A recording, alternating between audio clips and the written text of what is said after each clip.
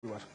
ირაკლი ოქრუაშვილი საქართველოსი ჩამოსვლას აღარ აპირებს. ქართულმა პარტიამ დანონსებული გეგმები მთლიანად შეცვალა და პარტიის ოფისში ჩატარებულ საგანგებო ბრიფინგზე მოულოდნელად განაცხადა, რომ 25 მაისს აღარც აქცია გამართება და აღარც მათი ლიდერის ჩამოსვლა იგეგმება.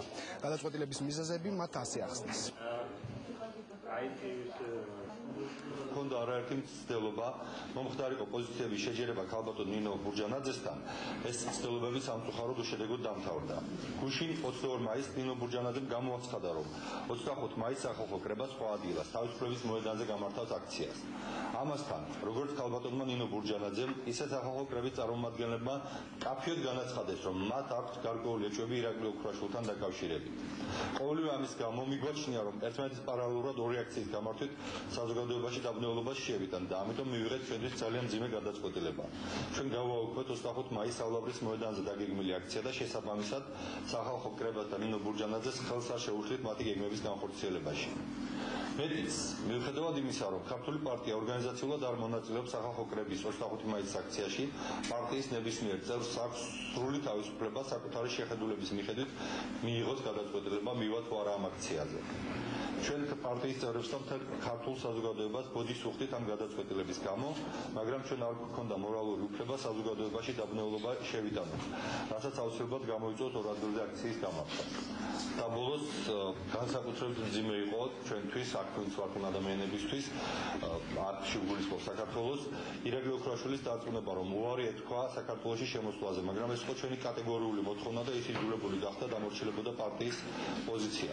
პოზიციას. მიგვაჩნია, რომ შექმნილ ვითარებაში ეს იყო მართალია ძალიან მძიმე, მაგრამ ერთადერთი სწორი გადაწყვეტილება. ანუ ოქროშვილი ირაკლი აღარ ჩამოვა, მაგრამ უცდა რომ დავაზუსტოთ.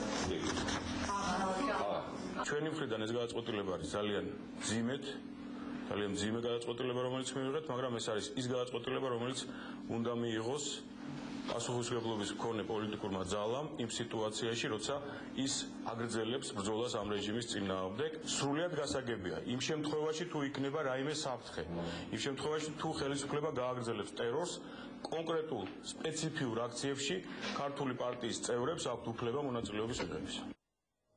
შეგახსენებთ ბოლო რამდენიმე დღის განმავლობაში ქართული პარტიის ლიდერები აქტიურად აანონსებდნენ ირაკლი ოქროაშვილის თბილისში ჩამოსვლას.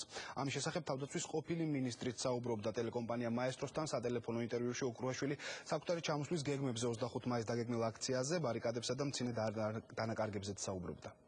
და ხუთი თალსახად გეუბნებით. მე ვიქნები საქართველოს ჩემს ხალხთან ერთად.